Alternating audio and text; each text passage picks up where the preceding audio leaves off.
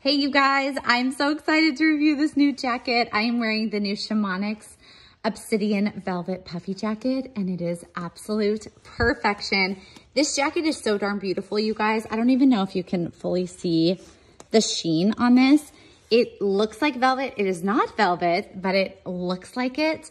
Um, it is so, so good. Uh, check out the neckline. I'm one-handed, so I can't zip it up and show you. It just is a beautiful piece. Um, I am wearing, let's talk sizing because you're gonna have a couple different options here. I'm in California. I'm in a tank top underneath here, so I love the small. I think the small's great.